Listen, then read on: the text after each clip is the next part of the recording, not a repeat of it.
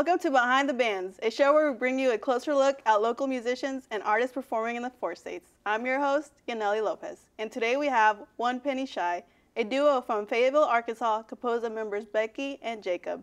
They bring infectious melodies, heartfelt lyrics, and a whole lot of love. So let's start by listening to one of their original songs called Loose Curls.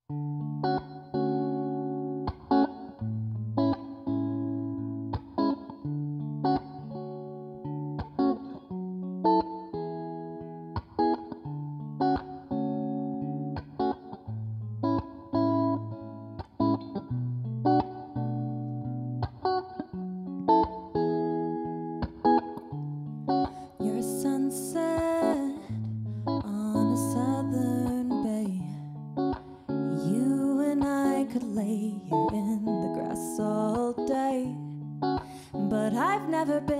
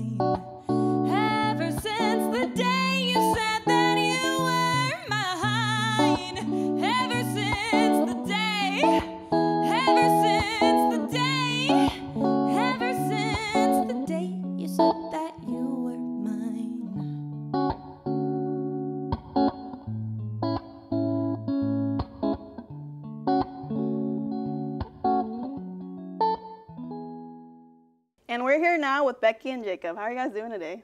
Good. Great. Yeah. How are you? I'm not too bad. All right. So, um, when did the duo get started? We got started in 2020 officially. We had both played music separately, but 2020 was when One Penny Shy was born. Mm -hmm. I was mm-hmm. writing a lot of songs. Jacob played a lot of guitar, and it just worked out. Were you guys in step like separate, like in a band, or just solo kind of artists? We yeah, I've played in a bunch of bands in Fayetteville for many years, and Becky also has quite a bit of musical experience, and so we uh, started playing in a band together, and then sort of evolving from that band has become the duo One Penny Shy. Well, we, we are a couple, so we spend a lot of time together, and it honestly was just an outlet for us. Instead of performing under my own name, you know, which I was doing for a while, I was like, what if I really just brought Jacob into this and we just became an actual, you know, duo inspired by the, the great duos out there, you know? So, One Penny Shy. How did you go about picking that name?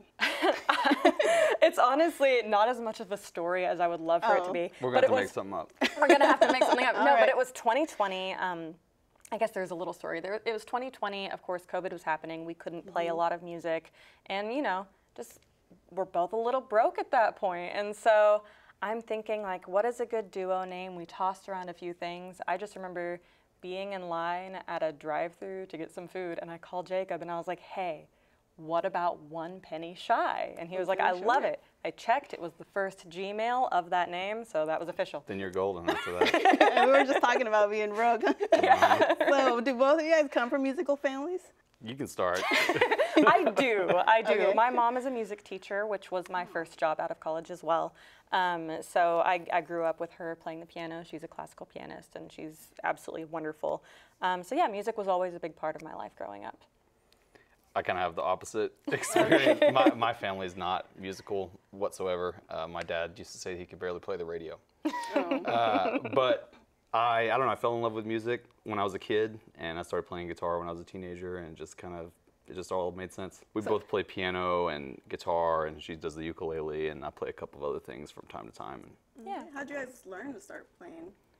Um, well, uh, I was 14 and needed an outlet, so that's when I picked up guitar. Um, as far as ukulele, I learned that officially when I started teaching, but I had studied guitar in college, so it was easy for me to just be like, yeah, I play ukulele, I can teach that. and so it was pretty add easy to to transfer that. yeah, I, I, I'm self-taught on the guitar too, but then I also studied music in college, and we actually met teaching music in Fayetteville. Yes. So, you guys like taught in the like In in the the, same college? In the same Yeah. school, yeah. Oh, interesting. Yeah. And so, how would you guys describe your music style for the audience? Um, I love to call it smooth vintage pop. The vintage is a call callback to you know the the kind of vibe around loose curls and also the kind of covers we like to do when we play live. We love to do some older cover, covers of like you know Nat King Cole and stuff like that. Um, but yeah, that's what I would say. Just some some smooth vintage acoustic pop. Who would who would you guys say are some of your influences?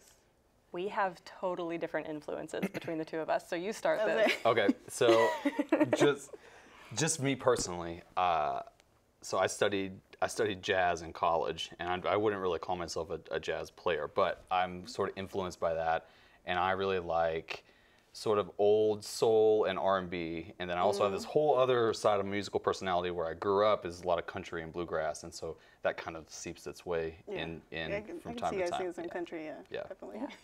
I um, listen to a lot more of like the sort of pop route, indie pop, as well as you know some like pop punk. So you'll hear me if if I'm in the car, I'm listening to either like Dermot Kennedy or Fall Out Boy, and there's really no in between. like a whole broad So, range. Yeah.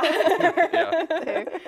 All right, so this next song we're gonna hear is called "Dream Queen." Can you tell us about that? What's the story behind that? Yeah, so Dream Queen is very much inspired by not living up to the expectations that other people have for you. You know, whether it be a friend or a partner, just feeling like you are brought in under a pretense, maybe put on a pedestal, being mm-hmm. thought of as a dream queen of, of something so different than who you actually are. And then feeling like once you get your actual personality shining through, maybe not feeling quite as desired. So it's, it's kind of just that conundrum of like making sure you're wanted for who you actually are. Yeah. All right, so we're gonna go ahead and take a listen to "Dream Queen."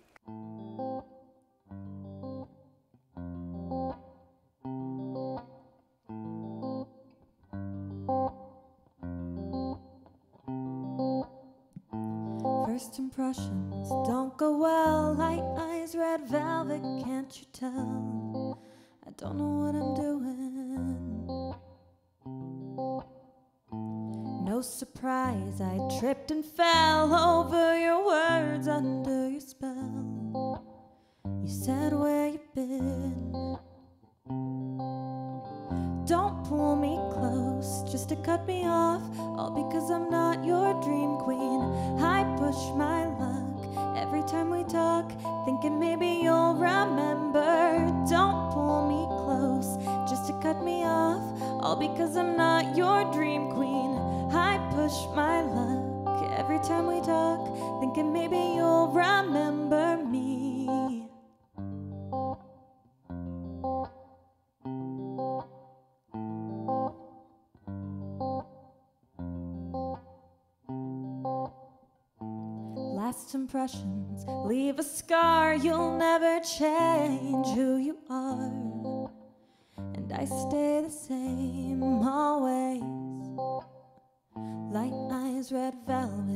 Can't you tell? You never loved and you never fell. You just played the game. Don't pull me close just to cut me off, all because I'm not your dream queen. I push my luck every time we talk, thinking maybe you'll remember. Don't pull me close just to cut me off, all because I'm not your dream queen. I push my luck every time we talk, thinking maybe you'll remember. Don't pull me close just to cut me off, all because I'm not your dream queen. I push my luck every time we talk, thinking maybe you'll remember me. Worried that you might forget me.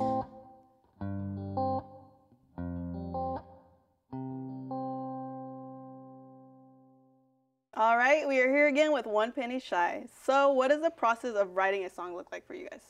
For us, I, I will say Becky is the principal songwriter of One Penny Shy, and so all the words that you hear, that's all Becky. And the musical process, what usually happens is Becky runs. We, you know, we're together and we live mm-hmm. together, so usually runs into the room and says, "I wrote a song." and so she comes, she comes with the kind of the, the skeleton, you know, and then we mm-hmm. flesh it out together, mm-hmm. sort of as a team. I don't know if you would think. Yeah, so. absolutely. So I'll just sit there, and usually an idea will be coming to me. You know, I, I work from home, um, mm-hmm. and so I'll just be sitting there thinking, and I'll be like, "Ooh, this sounds really good." I keep a ukulele by my desk, so I pick it up.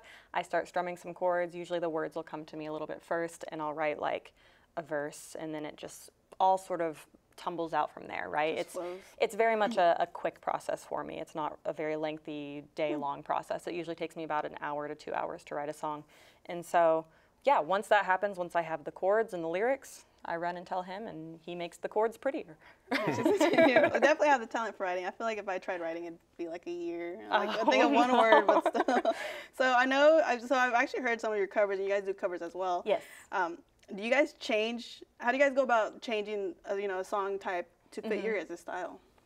Um, it happens pretty naturally, I would say. Um, with especially with like what he studied and his influences coming from like the bluegrass and the jazz, I feel like that really you know you speak that through your guitar and then you know vocally it's it's pretty easy to add your own riffs and spins on certain things, especially depending on the, the genre and how comfortable I am with the song, how long I've known it. So yeah. Having one instrument or just or two instruments you know Mm-hmm. like it imposes some limitations on you know what you can do clearly like we don't have any percussion stuff like that and so the way that we approach these songs is still trying to make it a full sort of song experience without having you know a whole band Shut up. That is that is like tough, especially you know some songs are mainly based off of drums, but you guys can Mm-hmm. change it. And that's that's pretty cool. Um, so does your originals when you write them, do they have a certain theme or like a topic, or what do you guys what do you like writing about? I guess. Um, yeah, so it, it, it truly depends. Um, what I sadness misery all of my songs are just sad. Loose Curls is a fun song. That's the best songs to hear, though. I'm not gonna lie. Uh, right? No. Um, so Like yeah. Adele. Sorry, Yeah. sorry, Yes, sorry. No, you're- no, you're right. Adele. I love Adele. Mm-hmm. Um, yeah, so it's generally just that catharsis that I'm looking for, right? So if I have a big feeling, whether it's sadness or frustration, it's that's when the song is most likely to happen. I can sit down and write something like Loose Curls, but you, typically for a song like that, like a happy song, I do have to sit down and think like I need to add a happy song to the set, and so I'll have to like actually try to write that. Um, but yeah, and other otherwise, as far as vibe with the songs, I always try to have there be just a little bit of a fantastical element, like something to make it kind of sparkle and feel, yeah, just a, a little bit of fantasy. So that's all. A lot of imagery, I guess. Yeah, it does produce that, which is a good thing, honestly. I Oh, mean, that's you. what songs need to do. I feel like for me. but Thanks, yeah. so uh, when we talked, I know you mentioned you guys perform in Northwest Arkansas, Southwest Missouri, and I think also Kansas City. Was that was Yeah, just a, just a few times up in Kansas City, but we've played. Is up there a before. difference on the audience when you play in like I guess different states technically? There's a difference in audience from gig to gig, no Yeah. matter where you are. it's so interesting. It's like having having played gigs for as long as we have, Mm-hmm. like both separate and together. It's like you you walk into a room and like part of the fun of the gig is like figuring the crowd out. Yeah. You know, Mm-hmm. uh, what do they want to hear? You know, how loud does it need to be? How quiet does it need to be? Et Yep. cetera, et cetera. Especially you know when we're playing a, a longer set that has a lot of covers. You know, we we do think about that. It's for me at least, it's impossible to say like this is what a hometown audience feels like versus like KC or, or whatever. Um, we've had amazing experiences everywhere, and we've had other experiences everywhere, Everywhere as as well, well. too. Yeah. Has it been a challenge trying to figure out the audience? Yeah. Absolutely, sometimes yeah. is. I feel like our set list is never static. We are always like we're up there and we're reading like what is making more people engage with us as we're playing and what people are obviously not as in tune with, you know. So it's like we've got our, our set list, you know, just kind of off to the side and we will, you know, split it out as needed depending on who's reacting to what. Okay, so yeah, like you guys already have like a certain arrangement of songs though ready, or do you guys just begin? Oh yeah, so I've got you know like in in my files I have a one hour set, a two hour set, and a three hour set, and it's more of an outline. It's uh, as I said, it's never static. It's never the same, but we do have them you know pretty much divvied out and arranged in a way where it's kind of got that ebb and flow. You know where it's like the the more upbeat to start, and then the mm-hmm. you know. So yes, yes you we do you create the flow on that. Are the audience allowed to make requests? Depends.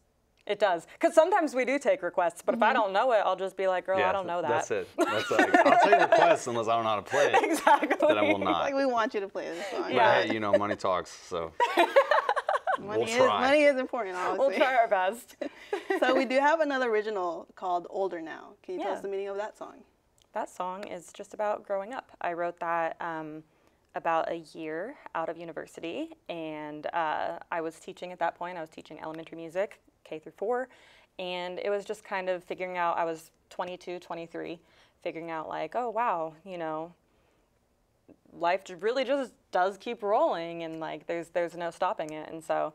It's always kind of a, a, pensive one to sing, you know, to, to think about mm-hmm. like, you know, the passage of time. And it starts out with, you know, that being in school sort of feeling like, you know, maybe by the time we're free in May, like we'll be able to run away, that sort of a, Yeah. a vibe. And then it just, you know, progresses from there into what it's like to age. Yeah. All right. Well then, let's take a listen to "Older Now" by One Penny Shy.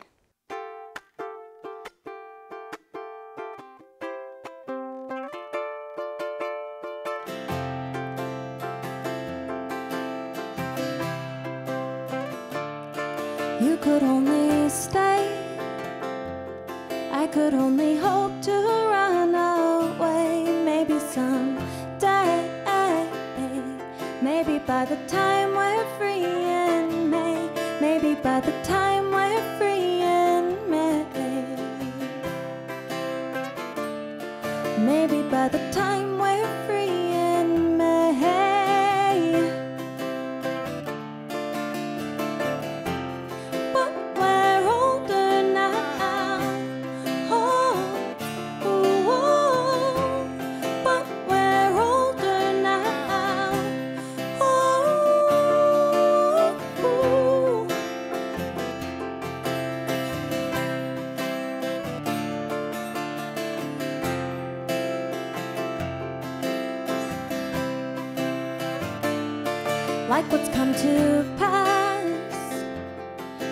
Everything is meant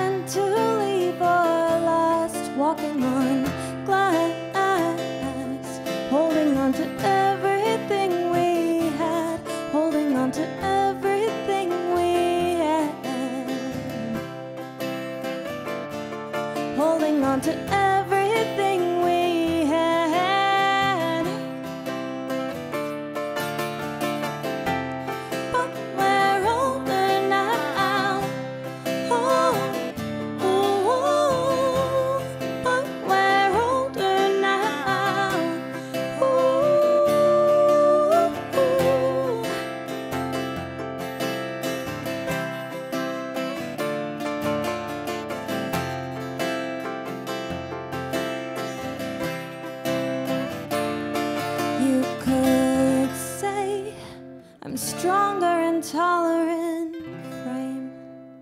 And you could say that I went and bought a new name. Cause I went and bought a new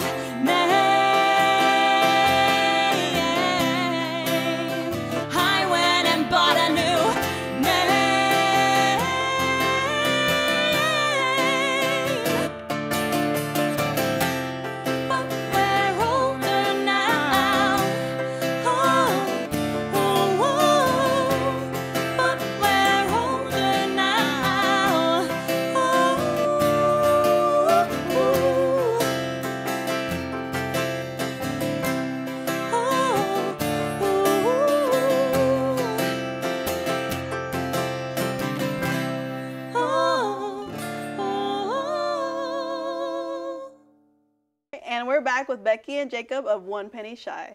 So, is this uh, more of a full time or a part time job? you guys say.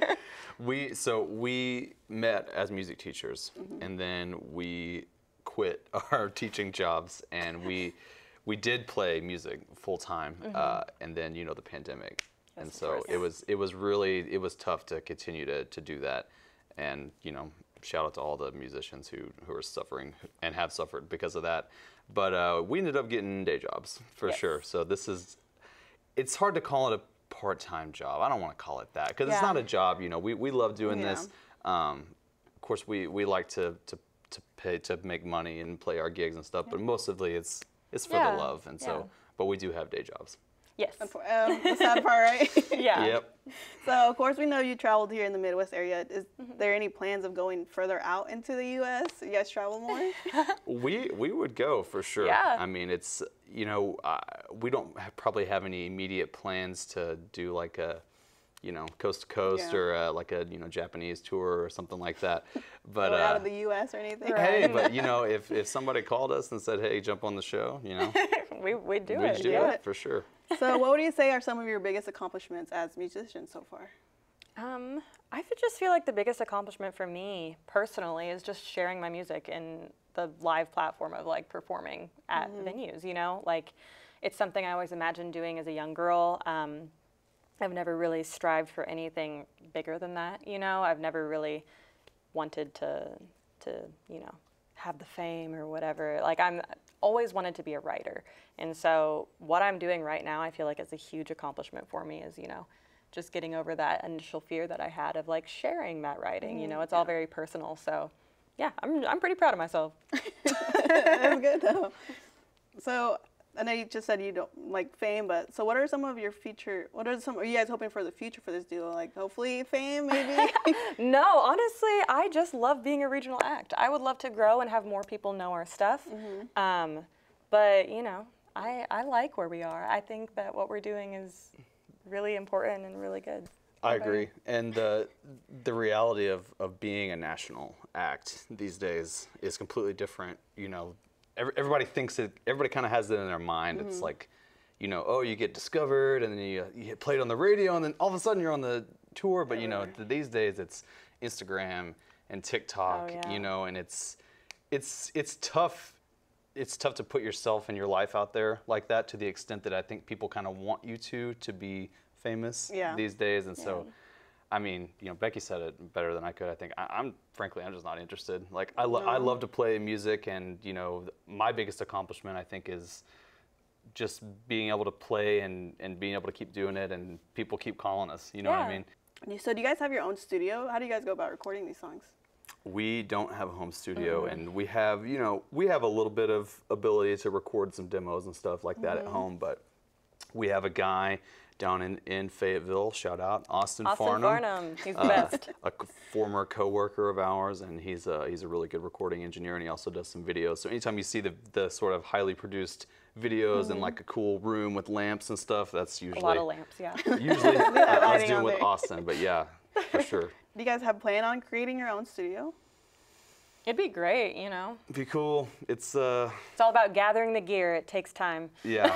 Slowly, money, right? Money. Yeah. oh my goodness. So, is there any albums in the works, or mostly? I know you on Spotify. I think I was looking. and It's like singles and stuff. Is there albums? Yeah, so we've got an EP out on Spotify. It was our very first EP that's actually very folk inspired, if, if you're interested in listening to that. Um, we've got that out. Um, I, I will probably go with more of the structure of EPs and singles for a little while, Yeah. um, just because of the sporadic nature of like how I'm writing right now at this point. Um, but yeah, who knows? Like I've got enough in the in the bag to make an, an album, yeah. so you never know. I think I think I think we will. You think so? Yeah, I think you know in the in the next few years, you know, even if it's just another EP. EP. But like some of the songs that we've released, we need to put them like on a record. I think. Okay, then the answer is yes. You heard it here first. There's a future album coming. All right, so where can our audience go to see future events or even know more about the band you guys do? Yeah, um, well, you can see us all over. Um, we're playing, of course, in Fayetteville. Um, but yeah, you can always just look us up online, One Penny Shy. Instagram. And um, Instagram, Facebook, those are our two main ones. So yeah, All right, and is the streaming services under? I'm assuming under the same One name, Penny right? Shy. Everything, iTunes. just type in One Penny Shy. Yep. All right. So of course we do have one more song before we leave. Can you tell us about Secret Places? Secret places. Go on, tell them. tell them. I'm a huge reader. I'm a big nerd. Um, I, I, I love books, and so this is honestly one of those that um, one of the many songs I've written inspired by two characters in a book. So yeah, that's that's pretty much it. They were in love, and it was just never meant to be. It's not the ship that you know the Kinda fandom cool wants. though. I don't think I've heard someone write a book based off or write a song based off of like that's I do interesting. it all the time. Yeah, it's it's very fun. Sorry, you guys have like natural talent. That's all I'm saying. Thank you. Thank you. all right. Well, thank you so much, guys, for being here. I really Thanks, appreciate Nelly. it. Thank you, Nelly. We Thank appreciate you. And that ends today's show of Behind the Bands. I'm your host, Yaneli Lopez, and here's Secret Places, an original by One Penny Shy. Thanks for watching.